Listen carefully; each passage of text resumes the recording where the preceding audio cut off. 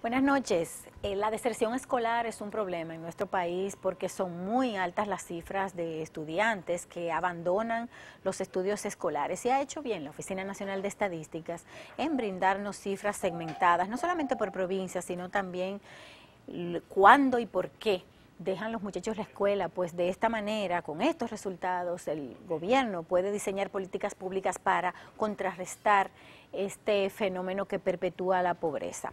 Miren, por ejemplo, el tema de cuándo abandonan la escuela. Las cifras nos están revelando que es durante los estudios de la primaria, de la escuela básica, cuando más niños y niñas dejan los estudios escolares, con un 37.5%.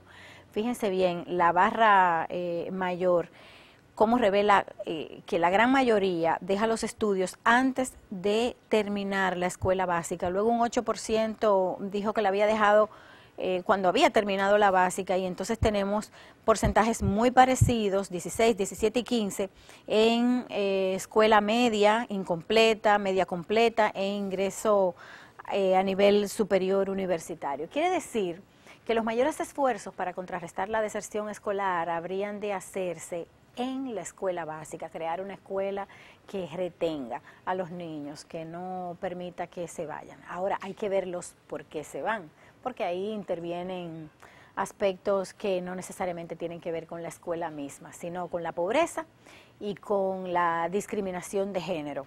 Vamos a ver el siguiente gráfico. Las barras están eh, divididas eh, entre hembras y varones. Los varones son la barra verde y las hembras eh, corresponden a la barra rosada. Fíjense cómo el mayor porcentaje de los que dejaron la escuela dijeron que lo habían hecho porque tenían que trabajar. Y hay una gran mayoría fue de varones. Pero fíjense en la segunda, el segundo renglón cuando dice Abandonaron la escuela porque tenían que hacer los oficios de la casa y ahí solamente se ve la barra rosada de las hembras. Obviamente el hecho de que culturalmente se le asigne eh, los oficios domésticos eh, casi de manera exclusiva a las hembras, eh, fíjense cómo eso inclina mucho la balanza a la hora de abandono escolar. Hay un tercer renglón que dice que no está en edad para ir a la escuela, eso habría que precisarlo. Y bueno, hay otro renglón que dice no había dinero en el hogar, ahí van bastante parejos hembras y varones. Y fíjense el quinto renglón, se casó o embarazó. Como el embarazo adolescente también es tan alto en el país, eh, se está reflejando en las estadísticas de deserción escolar.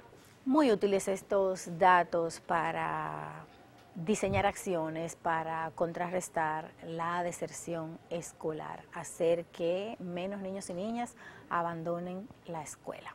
Buenas noches.